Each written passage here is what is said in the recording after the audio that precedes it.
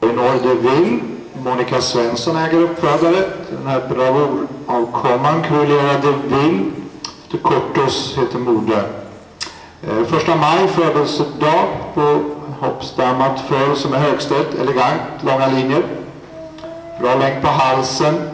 Ska musklo i sin bog. Det kunde vara lite mer liggande men det ingenting som berör en hoppindivid på samma sätt som en dressyrbetonad häst. Välformat kors.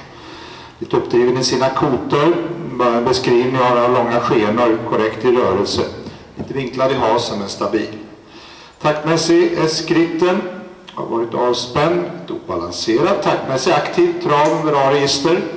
Och en tilltalande galopp med rytmik, bra påskjut och det finns kraft i, den, i det här registret. Velkommen til finalerengen.